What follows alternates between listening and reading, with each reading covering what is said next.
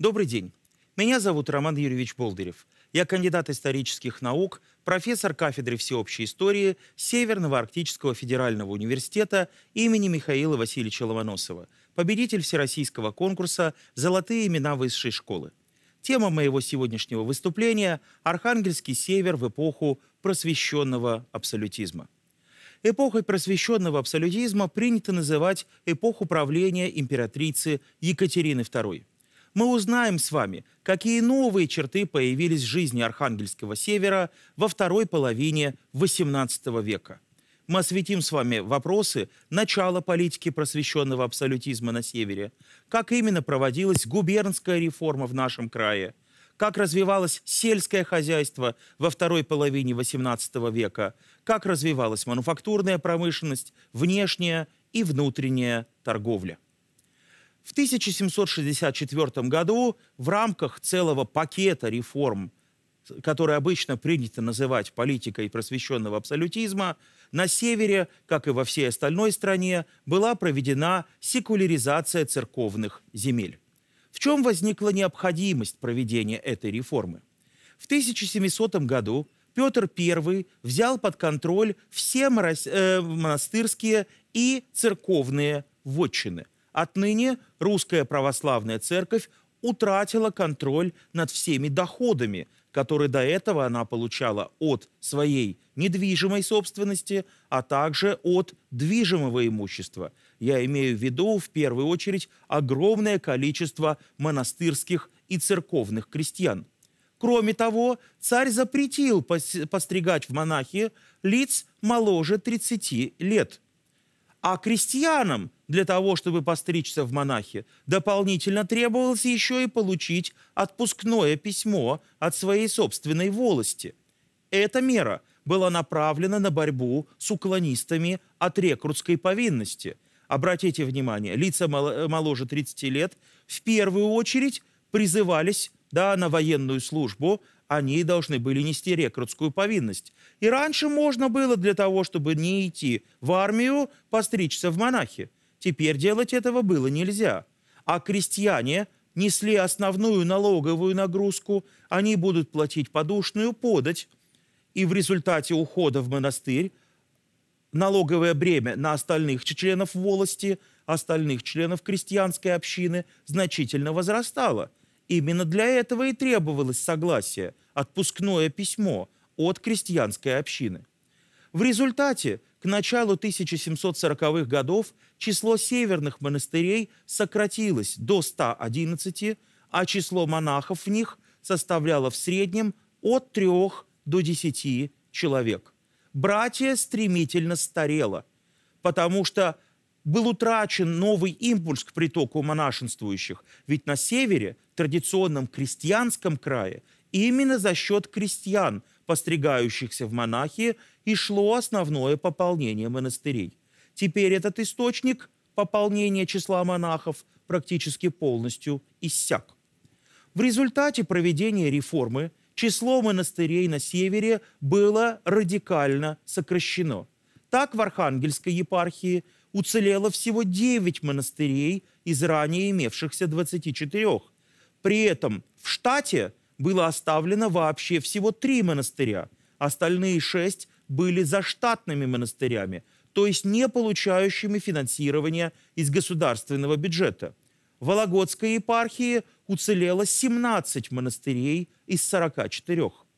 Проживавших в монастырях ранее монахов перераспределили между остающимися монастырями по 12-33 монаха в каждом монастыре. Все церковные вотчины были окончательно конфискованы, а проживавшие в них крестьяне переводились в категорию так называемых экономических крестьян, подчиненных сначала коллегиям экономии, а затем губернским казенным палатам. Подушная подать с них была увеличена до полутора рублей, но теперь полностью шла в государственный бюджет. И только часть средств оттуда – передавалось в последующем на содержание монастырей. Вот в этом и главное отличие штатного монастыря от заштатного. Штатный монастырь, в зависимости от своей категории, получал ежегодное содержание пропорционально числу монашествующих, за штатный монастырь должен был добывать средства к существованию самостоятельно. Следующая очень важная реформа, которая также затронула наш край, это генеральное межевание. Оно началось в нашей стране в 1765 году в соответствии с манифестом императрицы Екатерины II. Осуществлявшим эту реформу землемерам необходимо было составить планы земельных участков, подготовить экономические примечания к этим планам, включающие в себя сведения обо всех владениях, обо всех землях, о занятиях местного населения, а также составить специальные межевые книги. Это описание границ земельных участков. В чем был смысл проводимой реформы? Речь шла, во-первых, об установлении точных имущественных прав на все земельные участки, а это позволило бы зафиксировать их на местности целях налогообложения. Это дало бы возможность представления обо всех занятиях местного населения и источниках их доходов. Это также необходимо было в целях налогообложения – ну и губернатор каждой губернии на территории России должен был бы получить точное представление об экономике веренного ему края. Однако проведение межевания очень серьезно замедлилось. Оно тормозилось не только нехваткой квалифицированных кадров, но также и многочисленными спорами между землевладельцами. В итоге на севере России к 1796 году удалось провести межевание только на территории Вологодской и Алонецкой губерний том числе в Каргопольском, Устюжском, Сольвычегодском э, уезде, частично в Вельском уезде, Устьянских властях и Яринском уезде. На территории же, собственно, Архангельской губернии к межеванию земель в XVIII веке даже не приступили. В 1767 году было объявлено о созыве в Москве уложенной комиссии – необходимой для составления нового свода государственных законов. Дело в том, что последний раз российское законодательство кодифицировалось в 1649 году в форме соборного уложения. За прошедшие сто с лишним лет после этого события количество законов умножилось на территории страны. Имелось огромное количество указов, изменяющих, отменяющих, или вводящих вновь те или иные правовые нормы. Разобраться во всех этих нововведениях не мог ни один даже самый искушенный юрист. Поэтому новой уложенной комиссии, которой предстояло созвать в Москве, нужно было разработать новый свод законов Российской империи. Губернатор Архангелогородской губернии Егор Андреевич Головцин решил допустить к выборам в уложенную комиссию не только государственных, но также всех экономических, дворцовых и приписных крестьян, а также и половников. В результате, в отличие от других регионов России, у нас на севере депутаты представляли абсолютное большинство населения. Сами выборы крестьянских депутатов были устроены трехступенчатыми. Сначала избирались поверенные – то есть представители от отдельных властей и станов. Затем эти поверенные съезжались в центр уезда, и там они из своей среды выбирали уездных поверенным, которым вручали челобития, то есть своеобразные наказы со стороны избирателей. Уездные поверенные должны были собраться в губернском центре, в данном случае в Архангельске, где они в итоге выбирали крестьянского депутата от всей Архангелогородской провинции. В результате в работе уложенной комиссии приняло участие сразу пять депутатов от государственных крестьян северных провинций, три из которых представляли территорию, ныне входящую в состав Архангельской области. Это были Василий Белкин, он представлял Каргопольский уезд, Василий Ключерев, он представлял Черевковскую волость Великоустюжского уезда, и Иван Чупров. Он представлял Пустозерский уезд. Еще два депутата, Зиновий Ардеев и Воембой Пургин, являлись представителями ненецких родов, которые также были направлены для работы в уложенную комиссию. Все требования, содержавшиеся в крестьянских наказах, которые везли с собой избранные депутаты э, от северных губерний, можно разделить на две группы. Первую группу составляли предложения по вопросам землевладения и землепользования. Так крестьяне предлагали ограничить дальнейшее увеличение землевладения купцов и посадских жителей на сельских территориях, исключить из налогообложения земли, утраченные в результате половодья. Они предлагали дать государственным крестьянам право на свободную куплю-продажу принадлежавшей им земли.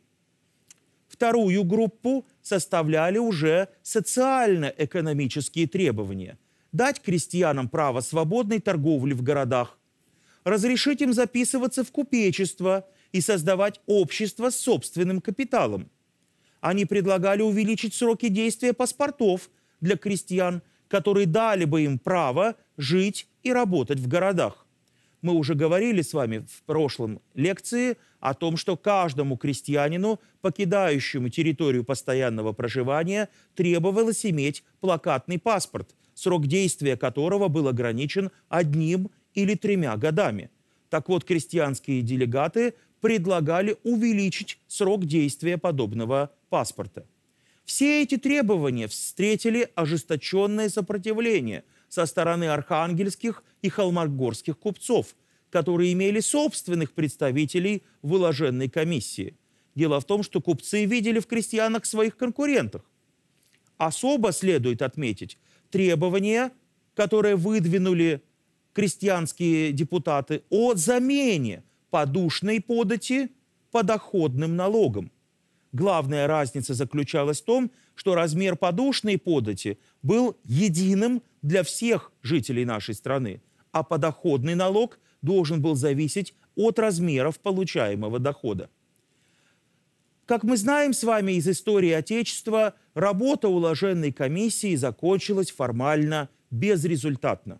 Единственное решение, которое так и смогла принять комиссия на своих заседаниях многочисленных, это при поднесении Екатерине II в первый день работы уложенной комиссии титулов «Великой императрицы» и «Матери Отечества». Больше никаких законодательных актов по итогам работы уложенной комиссии составлено так и не было. Но все-таки – все составленные депутатами наказы, и в первую очередь наказы северных крестьян, были в последующие годы тщательно изучены и потом уже легли в основу многих последующих указов правительства Екатерины II, Павла I и даже Александра I. То есть мы можем с вами сказать, что в определенном смысле эти предложения, вносимые северным крестьянством и даже купечеством – они опередили свое время. До нашего времени сохранилась биография одного из выдающихся деятелей уложенной комиссии Екатерины II. Это Иван Андреевич Чупров. Годы жизни 1762 и где-то до 1784 года. К сожалению, он умрет в полной безвестности, и даже точная дата смерти Ивана Андреевича останется неизвестной. По происхождению крестьянин. Он был депутатом уложенной комиссии от государственных крестьян не только Пустозерского уезда, но всей Архангелогородской провинции. Родился он в зажиточной старообрядческой семье в Усть-Целемской слободке Пустозерского уезда. Был грамотным.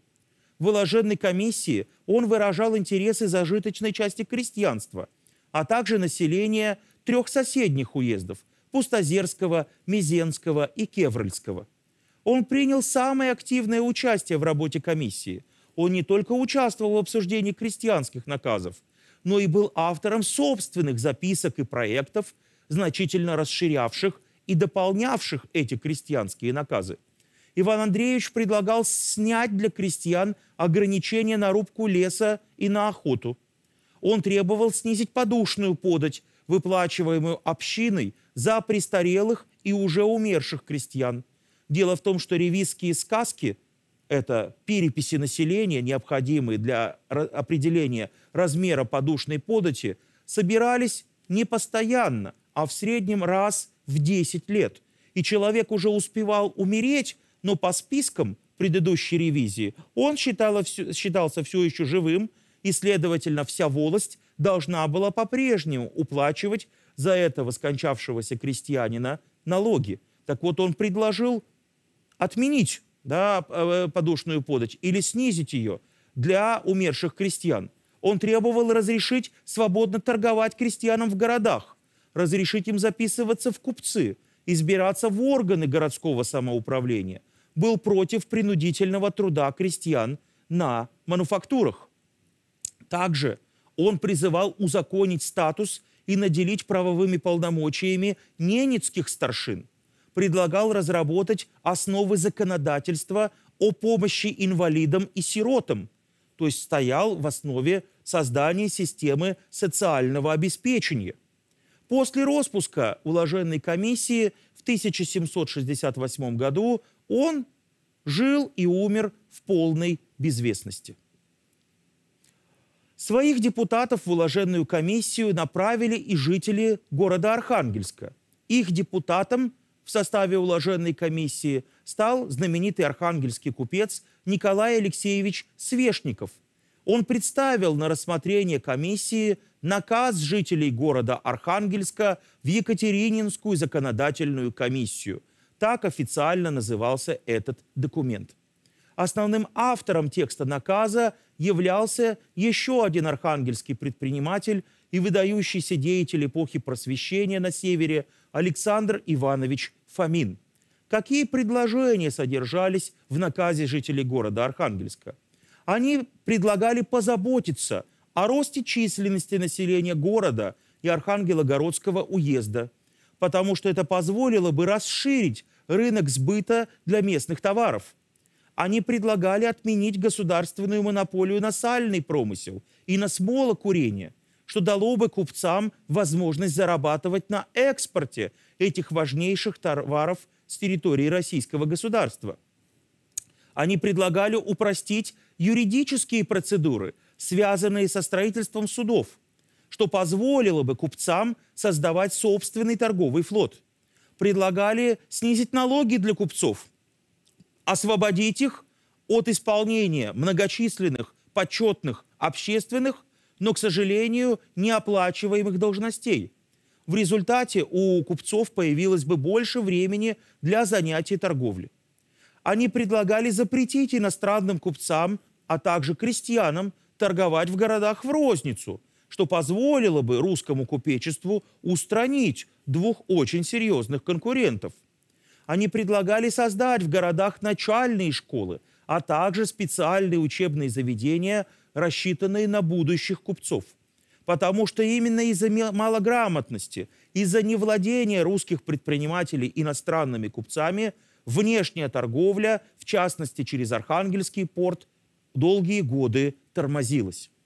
Точно так же, как крестьянский депутат Чупров Николай Алексеевич Свешников тоже активно участвовал в работе уложенной комиссии. Он выступал за максимальное освобождение городского населения от возложенных на него общественных повинностей. Его пожелания, к сожалению, не нашли поддержки у других членов комиссии, но были в последующем использованы Екатериной II при составлении в 1785 году жалованной грамоты городам. Так что мы не можем с вами сказать, что работа этого депутата от города Архангельска закончилась в Туне. Не менее важным мероприятием стала новая губернская реформа на севере. Петровское административно-территориальное деление – введенное в 1708 году и слегка откорректированное в 1717-1719 годах, оказалось очень громоздким и страшно неудобным. Россия была слишком большим государством для того, чтобы разделить его всего на 8 губерний. Самая гигантская губерния Сибирская простиралась от европейской части России до Тихого побережья Тихого океана а центром управления был город Иркутск, который даже не был связан дорогами постоянными с остальной частью России. Не лучше обстояли дела и на европейском севере России. Управлять такой гигантской Архангелогородской губернией было страшно неудобно. Губернатор даже не успевал за срок своих полномочий объехать всю территорию, веренной его попечению губернии. Поэтому 25 января по старому стилю 5 февраля по новому стилю 1780 года была проведена новая губернская реформа на севере. Было образовано огромное Вологодское наместничество, изначально оно называлось Вологодской губернией, в которой вошли три области, в том числе Архангельская область и Великоустюжская область. Во главе этого Вологодского наместничества был поставлен генерал-губернатор. Эту должность занял видный вельможа екатерининских времен Алексей Петрович Мельгунов. Генерал-губернатор обладал всей административной, полицейской, военной властью на территории своего наместничества. Он отвечал за обеспечение государственной безопасности, мог приостанавливать судебные решения – и апеллировать по ним в Сенат. Генерал-губернатор мог напрямую обращаться к императрице, мог присутствовать на заседаниях Сената и тем самым мог влиять на принятие Сенатом его решений.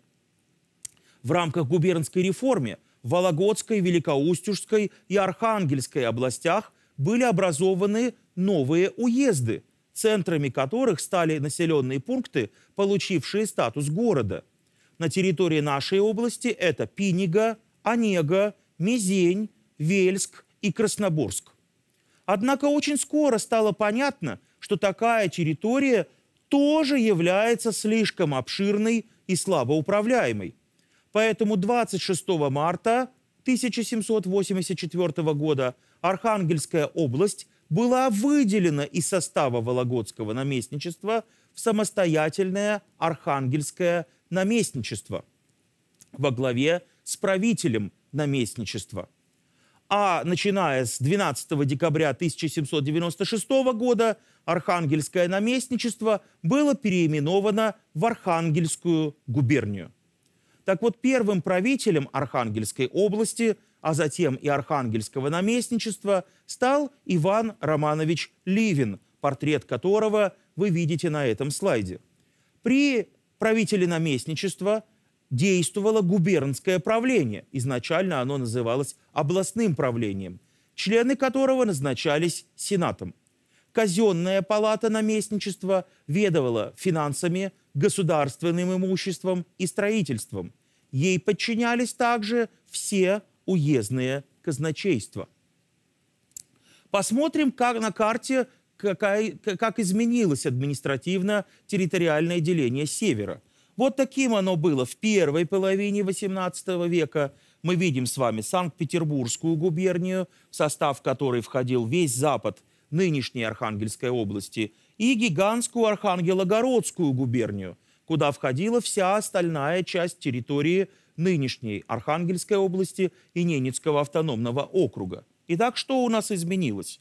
Мы видим, что вся эта территория оказалась разделена между тремя крупными наместничествами. Архангельское наместничество с центром в городе Архангельске. Территория наместничества была разделена на шесть уездов. В связи с этим каждый уездный город должен был получить свой собственный герб.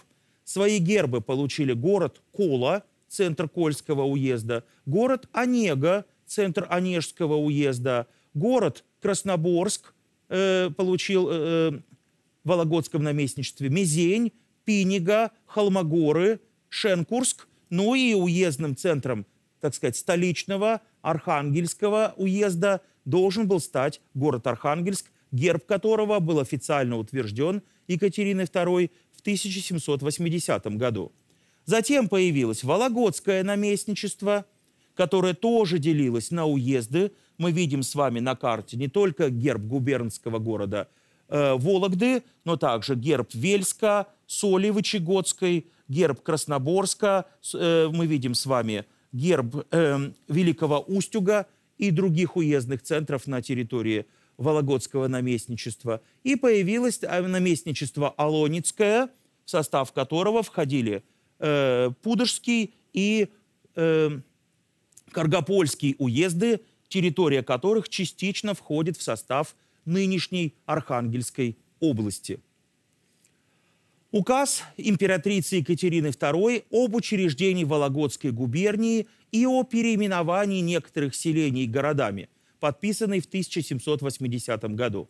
Всемилостивейше повелеваем нашему действительному тайному советнику Ярославскому и Вологодскому генерал-губернатору Мельгунову в следующем июне месяце сего года равномерно исполнить и Вологодской губернии, составя сие новое наместничество по приложенному при сём расписанию в рассуждении пространства губернии из трех областей или провинций, то есть Вологодской, Великоустюжской и Архангельской, состоящих из 19 уездов, в первой быть губернскому, а в последних двух областным правлением – все сии области составить из следующих городов с их уездами, а именно к Вологодской принадлежать будут пять городов – Вологда, Тотьма, Вельск, Грязовец и Катников, к Великоустюжской – семь, Устюг Великий, Сольвычегодская, Яринск, Лальск, Никольск, Красноборск и Усть-Сысольск, к Архангельской – семь,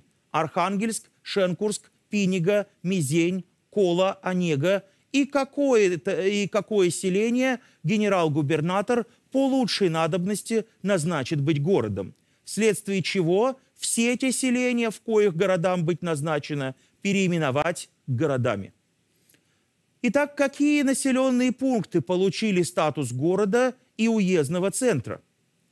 Получили статус города Вологодской области, Вельский посад, э, село Грязевицы – оно стало именоваться городом Грязовец, деревня Кадниковская, Великоустюжской области Лальский и Красноборский посады, Никольская Слобода, село Усть-Сысола, в Архангельской области села Пинига и Усть-Янское, оно получило название город Онега, а также Окладниково и Кузнецово Слободы, они были объединены в город Мизень город Пустозерск утратил статус уездного центра, а сам Пустозерский уезд был присоединен к соседнему Мизенскому уезду.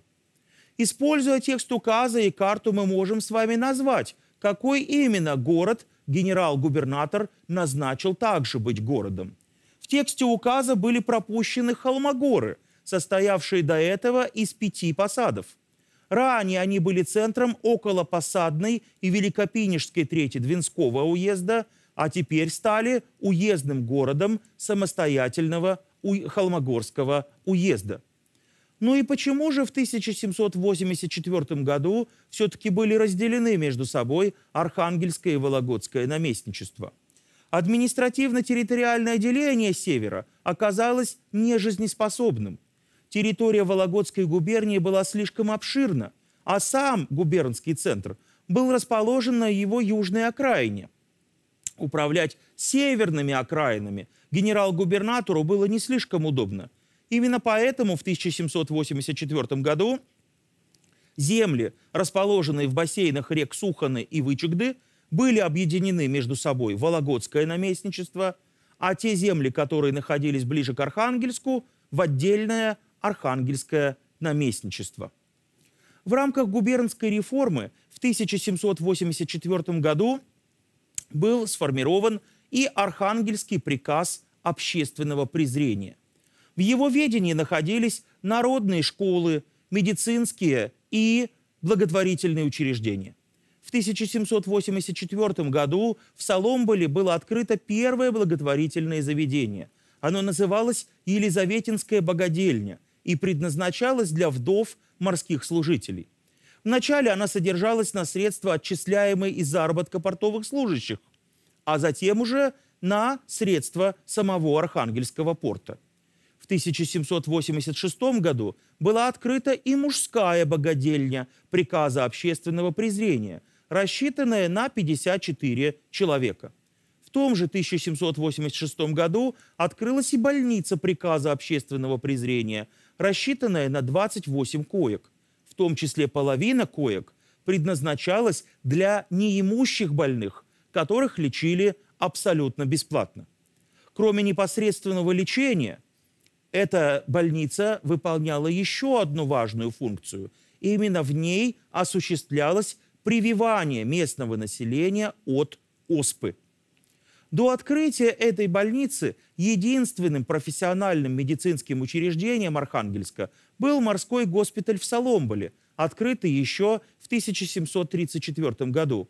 Он не только занимался лечением моряков и работников судоверфи, но и готовил также судовых лекарей. Кроме того, в Архангельске существовало и две аптеки. К сожалению, здание, в котором изначально находилась больница приказа общественного презрения, не сохранилось до наших дней. Сохранилось лишь здание больницы, в которой, э, которая действовала с 1882 года. Мы видим его на данной фотографии. Очень важную роль играло сельское хозяйство во второй половине XVIII века. Во второй половине XVIII века в сельском хозяйстве было отмечено увеличение количества деревень и их постепенное укрупнение. Если в начале XVIII века в среднем на деревню приходилось пять дворов, то к концу XVIII века их число возросло уже до восьми. На побережье Белого моря число дворов в деревнях было значительно больше. В Архангельском уезде в три с половиной раза – а в Уннежском уезде в 2,7 раза больше, чем в абсолютно сухопутном Холмогорском уезде. Чем это было вызвано? Это было вызвано тем, что для развития судостроения и для ведения рыбных и морских промыслов требовалось гораздо большее количество рабочих лиц, э, рабочих рук, чем для ведения традиционного сельского хозяйства.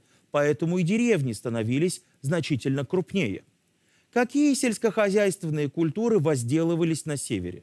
Это очень во многом зависело от природно-климатических условий. Так в Архангельском и Мизенском уездах 76-96% всей пашни засеивалось ячменем, а все остальное – рожью. А в расположенном значительно южнее Холмогорском уезде под рожь отводили, отводили уже 23%. В, Шерском, в Шенкурском уезде – который расположен еще южнее, рожь занимала уже 43% всех посадок, а овес 38,5%. На ячмень выделяли только 18 с небольшим процентов всей земли. Крестьянские хозяйства были в достаточной степени обеспечены скотом.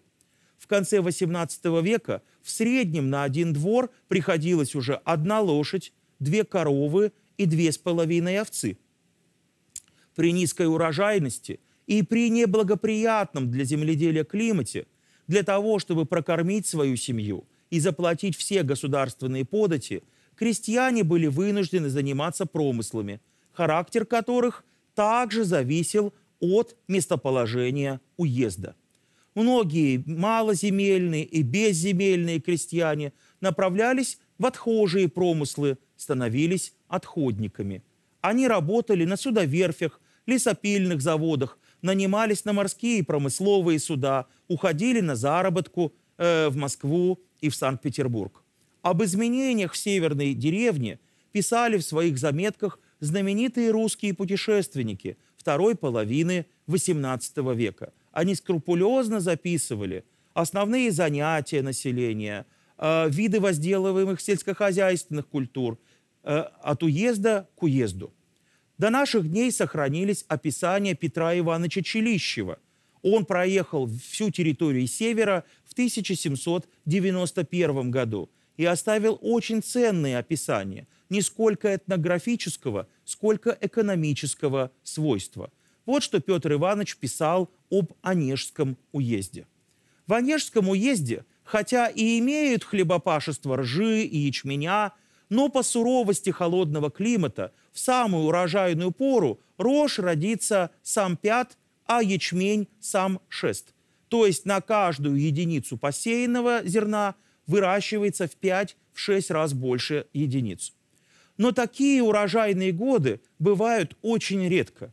почему они на продовольствие своих семейств покупают рожь и ячмень по дорогой цене у купцов города Архангельска. На покупку же хлеба и на оплату казенных податей зарабатывают деньги разными промыслами и рукоделиями. Строением больших и малых мореходных судов, карбасов и лодок, вязанием для ловли в реках и озерах рыб разной величины сетей, ездят достаточные на своих судах для рыбного промысла и бьют морских зверей. А осенью сетями ловят в заливах Белого моря семгу и тюленей. А в прочее время ловят сетями же сельдей. И все это продают купцам города Архангельска и на иностранные, приходящие к городу Онеги затесом, корабли. А которые живут в отдаленности от Белого моря, те имеют иконописное, серебряное, резное, столярное, плотническое, укладное, кузнечное, чоботное, портное, слюдяное, кожевенное и скорняжное ремесло. Стреляют в своих лесах зверей, э, которых кожи и сало продают в своем городе Онеге, а некоторые отвозят в город Архангельск. А иные, нанимаясь, ездят работниками на купеческих мореходных судах для промысла морских зверей и рыб.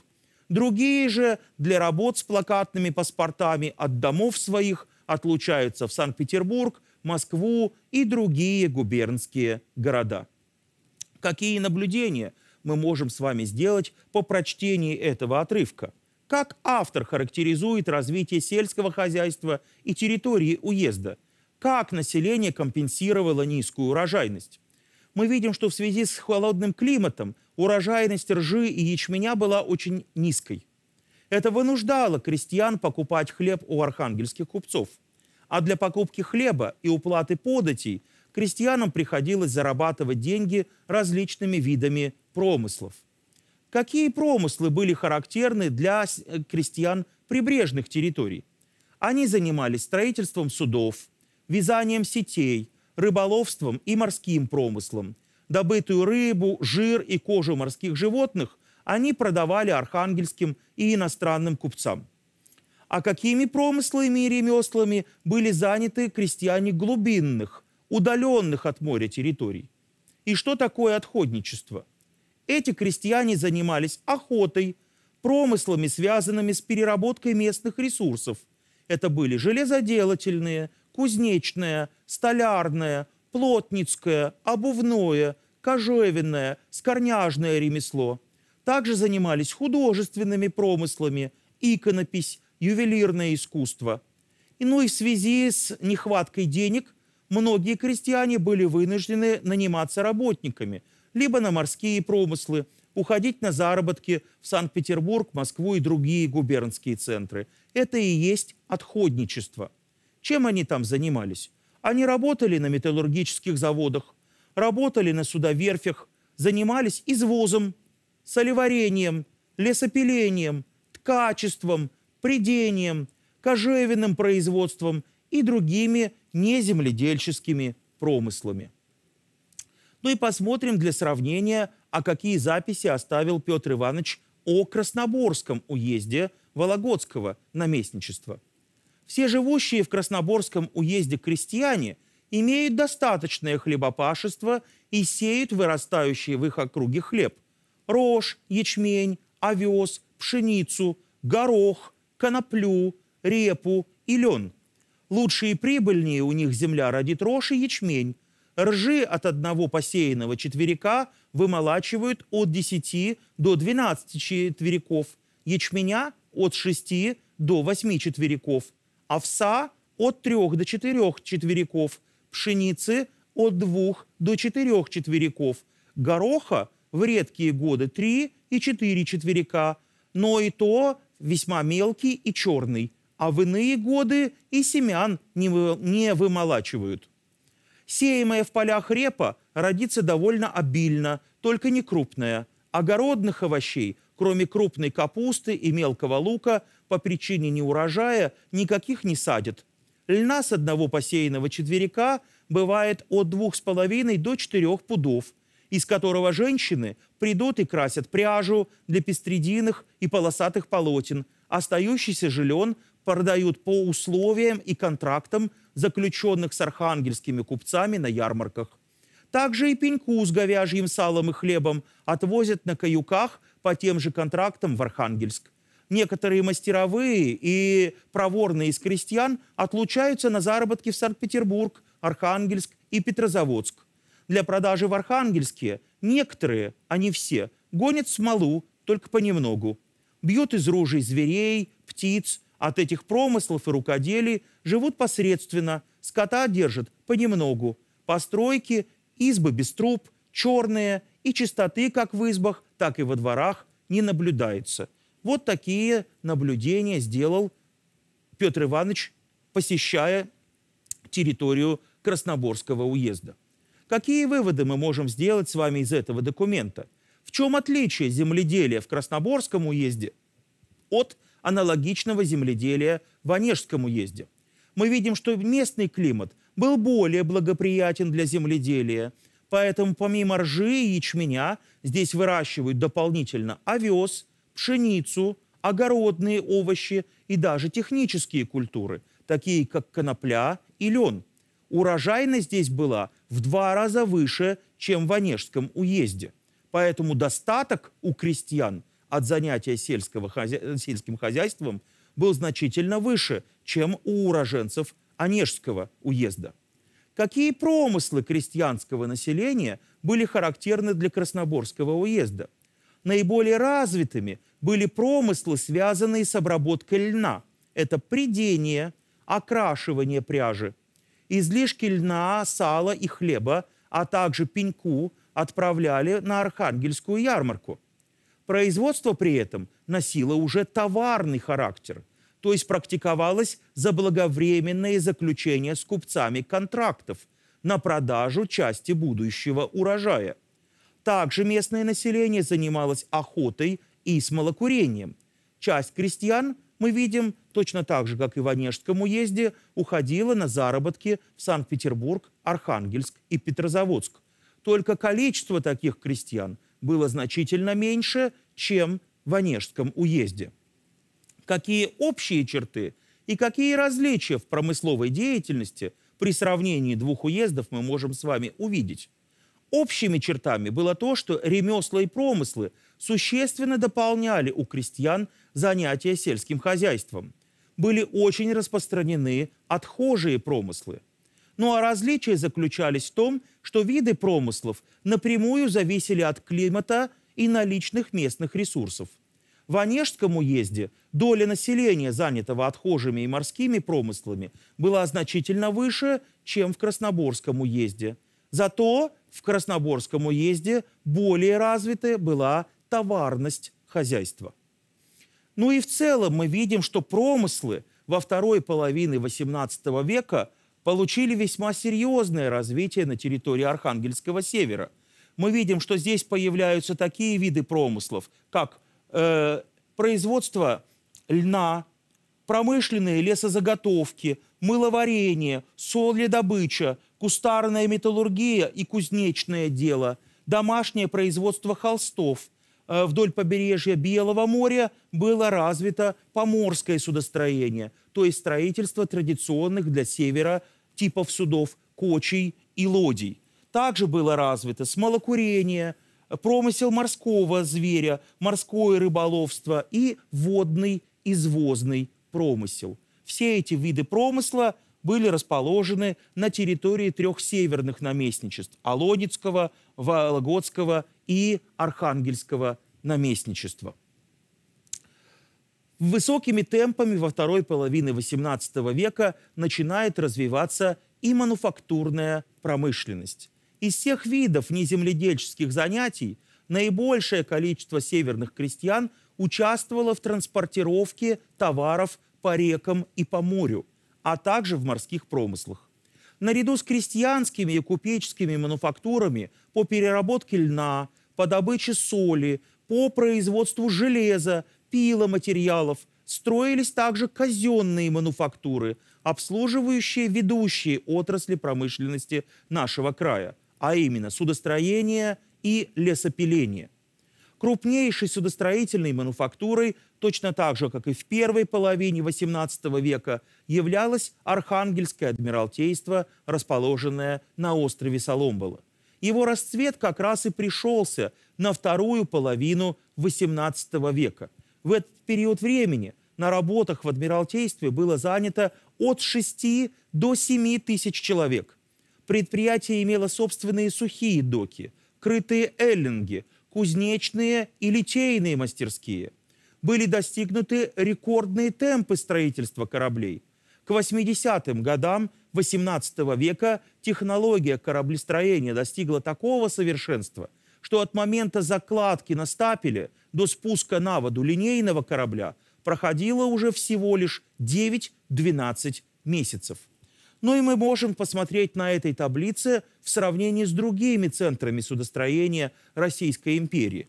В период с 1762 по 1782 год в Архангельске было спущено на воду 32 линейных корабля и 13 фрегатов.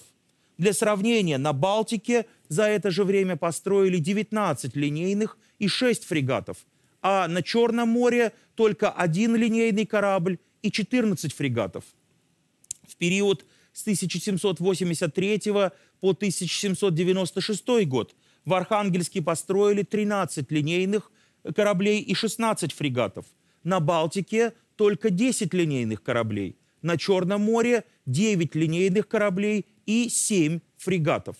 Общее соотношение по всему 18 веку мы видим с вами 80 линейных кораблей в Архангельске, 42 фрегата в Архангельске. Для сравнения, на Балтийском море 49 линейных кораблей и 6 фрегатов.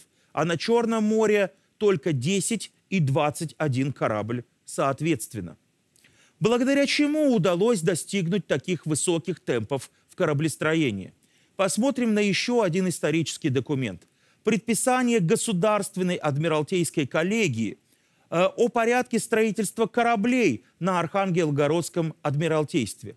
Производить строительство кораблей у города Архангельского следующим образом. Первое.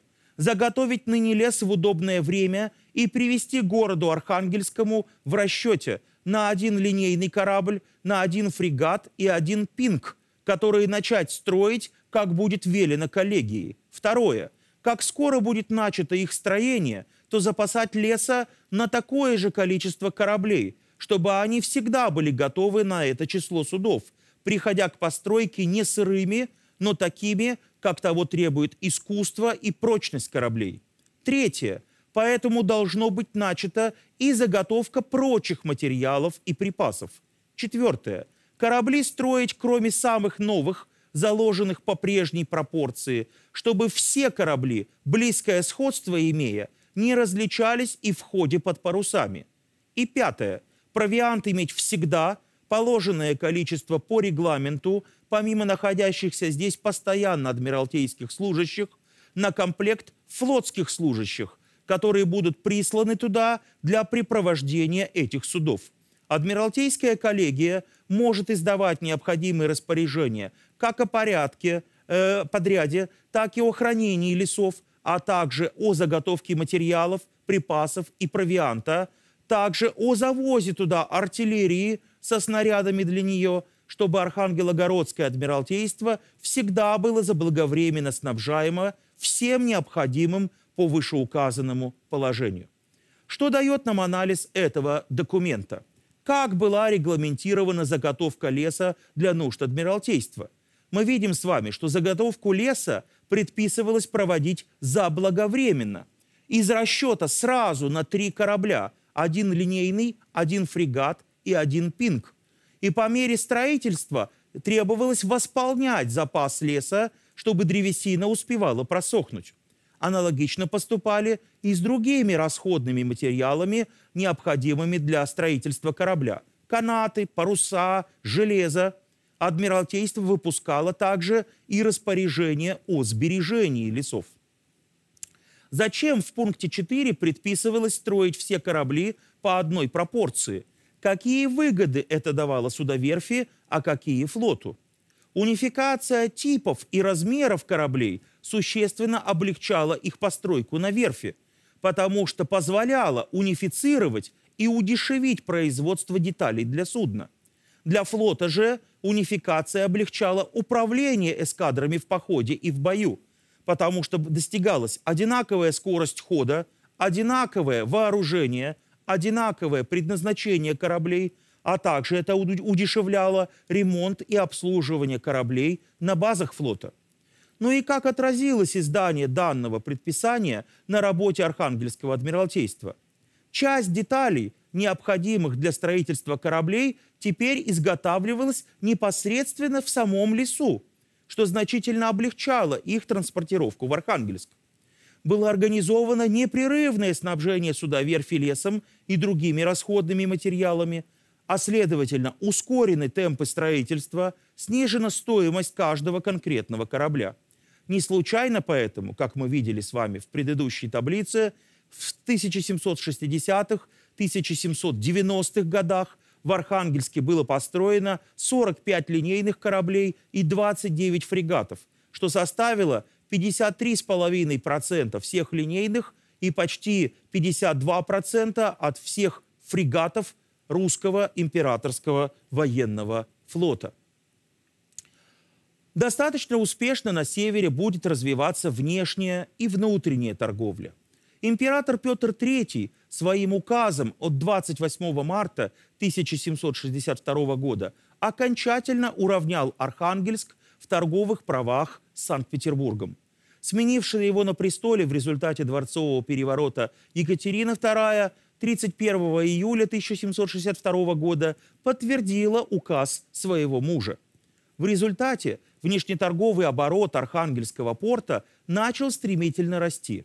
Но все же показателей начала XVIII века он так и не достиг.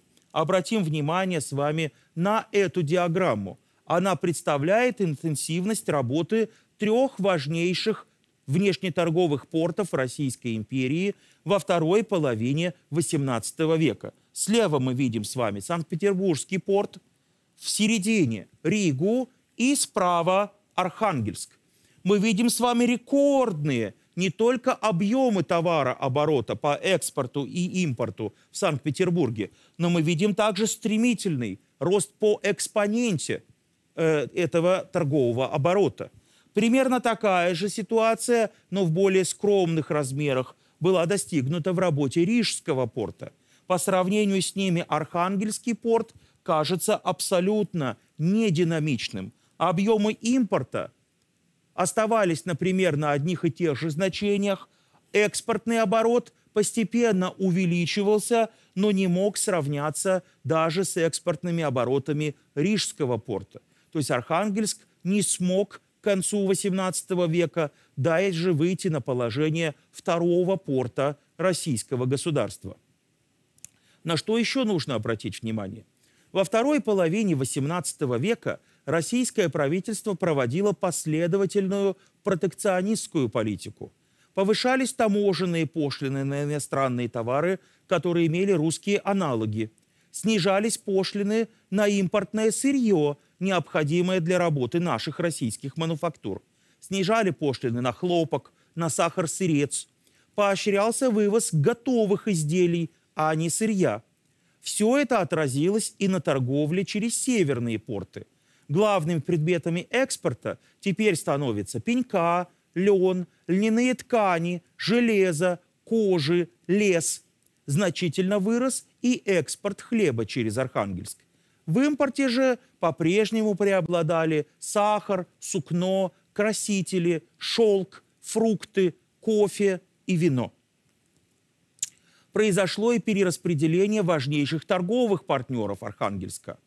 Доля Голландии снизилась до 33%, зато значительно вырос вклад в торговлю немецких портов государств. Это Гамбург, Бремен и Любек. На них теперь приходилось треть всего экспорта через Архангельск. И выросла доля Великобритании до 27%. К концу XVIII века 83% всего торгового оборота приходилось уже на российских купцов. Однако большинство из них на самом деле были натурализировавшимися иностранцами.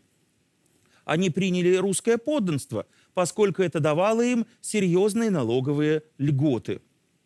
Доля же, собственно, русских купцов, занимавшихся внешней торговлей, напротив, снизилась с 50 до 38 процентов.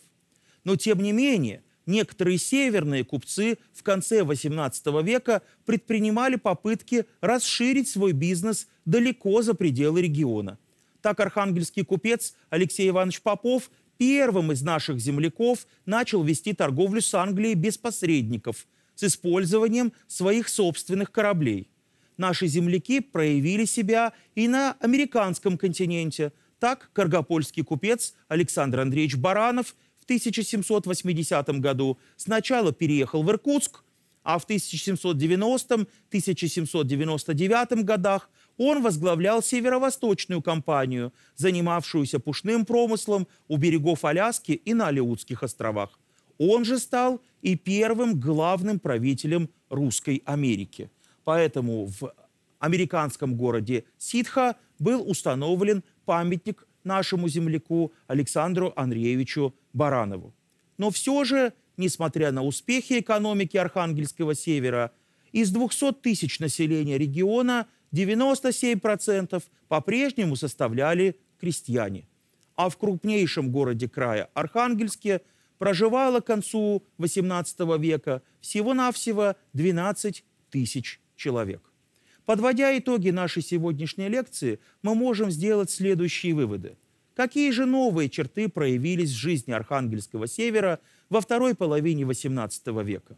Во-первых, в результате секуляризации церковных земель на севере появилась новая категория населения – экономические крестьяне, которые были лично свободны, но платили повышенную подать. Во-вторых, генеральное межевание – проведенная в Вологодской и Алонецкой губерниях, позволила установить э, границы земельных владений, определить права собственности на них. Это дало властям информацию об экономике региона.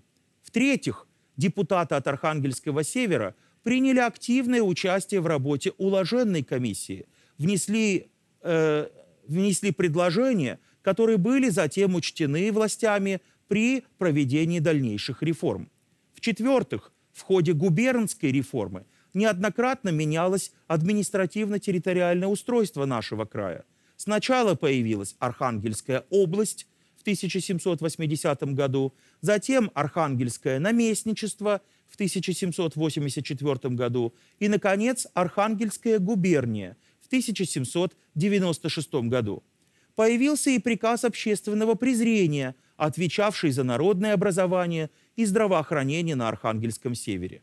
И, наконец, во второй половине XVIII века развиваются товарно-денежные отношения в деревне, растет мануфактурное производство, выросли объемы внешней и внутренней торговли. На город Архангельск приходится теперь 10% российского экспорта. Спасибо большое за ваше внимание.